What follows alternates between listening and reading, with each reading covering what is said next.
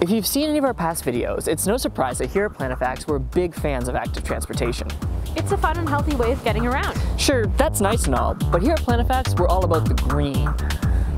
Like the environment? No, like that cold hard cash, baby. Make it rain!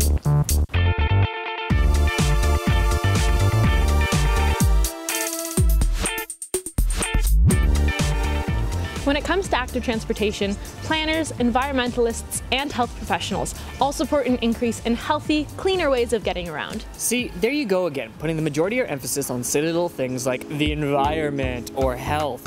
When's the last time the environment paid for a bike lane? It is true that the biggest barrier to active transportation is infrastructure, and good sidewalks, bike lanes, trails, and greenways are necessary to get people out of their cars and using active transportation. Ah. But there's also a solid financial case for investing in active transportation infrastructure, so pedal it back a bit and I'll explain it to you. On average, a bike lane only costs $20,000 per kilometer to build. This might seem like a lot of money, but not when you compare it to the cost of building roads.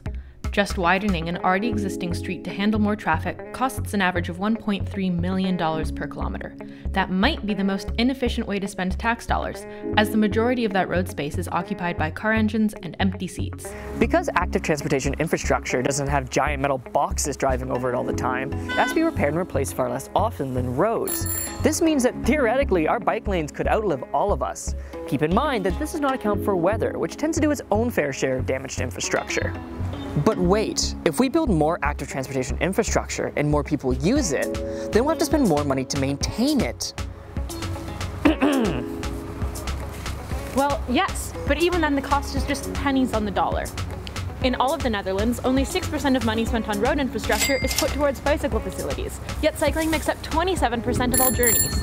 If active transportation infrastructure costs less to build, costs less to maintain, it's better for the environment, and it's healthier, why are municipalities building more of it? Well, politics are often influenced by money, and businesses have money, so they often get a say in what councils will or won't approve. Oh, and businesses hate active transportation infrastructure. Well, actually, they hate giving up room for cars, and they have a good reason to be worried about roads being narrowed or giving up parking spaces. I mean, you gotta be thinking about your customers. It's true, but oftentimes business owners overestimate the amount of their customers that come by car.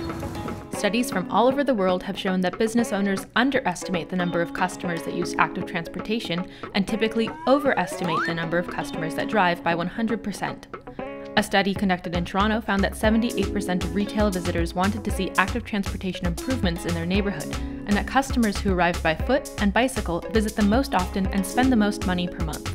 Now that I think about it, business areas that have great active transportation infrastructure do perform very well. A worldwide study found that retail areas that see improved active transportation infrastructure experience a 49% upward trend in retail turnover.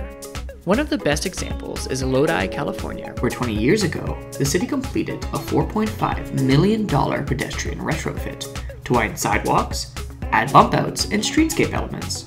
Since then, the project has been directly linked to the establishment of 60 new businesses, a decrease in vacancy rates from 18% to 6%, and a 30% increase in sales tax revenue.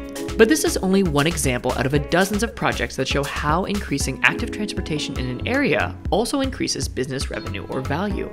And don't think that you need California beaches to benefit from active transportation. Dozens of countries with similar climates to Nova Scotia have very high percentages of active transportation users, including Denmark, Germany, Sweden, and the Netherlands. And the benefit of good active transportation infrastructure doesn't just end with increases in revenue. It frees up remaining parking spots by reducing parking demand, reduces congestion around businesses and makes the area more inviting, and it encourages your employees to be more active, resulting in less sick days and lower health claims. But the biggest reason for businesses to support active transportation infrastructure is a changing market demographic. Younger generations are moving away from private automobiles, with fewer North American teens even bothering to get their driver's license. We also need to consider our own aging population. Like, how long will our pensioners be able to safely drive? Or how many of them will be able to keep up with car associated costs? With the current clientele aging, future clientele being less interested in visiting car rented areas, and everyone starting to become a little more frugal, business owners can find themselves left behind for more hip competitions.